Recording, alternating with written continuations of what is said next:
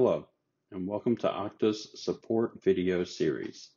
In this video, you will learn what steps to perform when all attributes are not showing for an application in Profile Editor. First, you will need to log in to the Okta admin dashboard. Then navigate to the Profile Editor using the menu on the left side of the screen. Search for and choose the application that is missing attributes.